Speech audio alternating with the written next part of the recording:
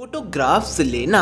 आज के जमाने में कोई बड़ी बात नहीं रह गई है और आजकल आए दिन घटनाएँ कैमरे में कैद हो जाया करती हैं। तो आज ना आपको बताने जा रहा हूँ कुछ ऐसी फोटोग्राफ्स के बारे में, जिन्हें किसी हादसे से कुछ सेकंड्स पहले ही ले लिया गया था।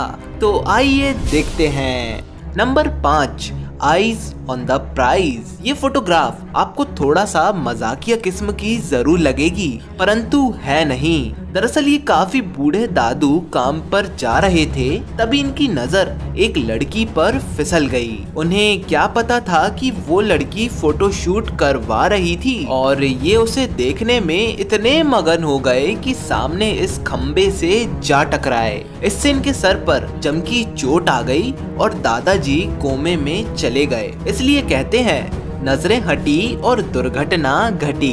नंबर चार टाइटैनिक फेल दरअसल ये फोटोग्राफ एक कपल की है, जो कि अपनी मैरिज एनिवर्सरी मनाने क्रूज पर गया हुआ था। वहाँ पर ये दोनों ने टाइटैनिक मूवी का पोज दे करके फोटोग्राफ खिंचवा ही रहे थे कि तभी एक पक्षी सीधा मैडम की आँख से जा टकराया और उसकी चोंच से मैडम की आँख ही चली गई।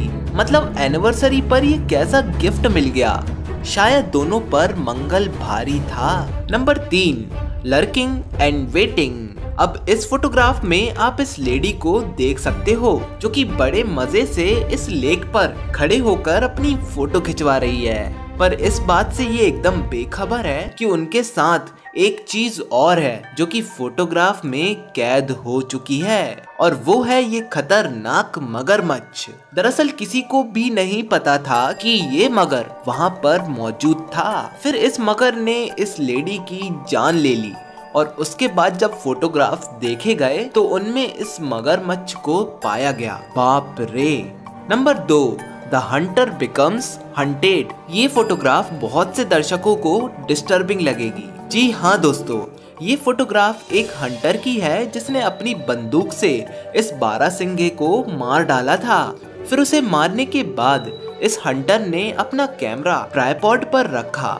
और खुद की फ़ोटो लेने लग गया। ये इस बात से बिल्कुल बेखबर था कि उस बारह सिंगे को मारने एक शेर भी उसका पीछा कर रहा है और इस फ़ोटो के बाद कैमरा वहीं पर था, पर लाशें एक से दो हो चुकी थी।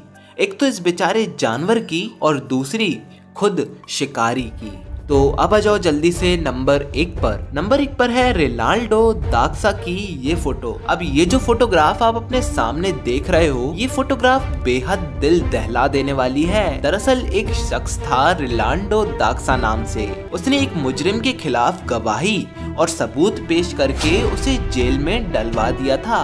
फिर कुछ साल बाद, जब रिलांडो अपनी फैमिली के साथ किसी फ़ंक्शन में एंजॉय कर रहा था ना, तब वो मुजरिम जेल से सीधा छूटा और रिनाल्डो की जान लेने आ गया।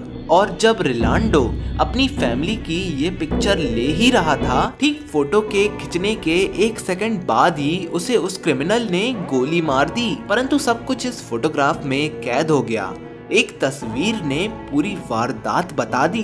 अब दोस्त, एक आखिरी फोटोग्राफ भी देख ही लो। ये सेल्फी जॉन डो के द्वारा तब ली गई थी जब वो अपनी नाव से बाहर निकलकर पानी के बैकग्राउंड में सेल्फी ले रहा था। तभी अचानक से एक शार्क पानी से बाहर निकली और जॉन का सर अपने मुँह में दबा करके ले गई, जो बोट पर गिर गया।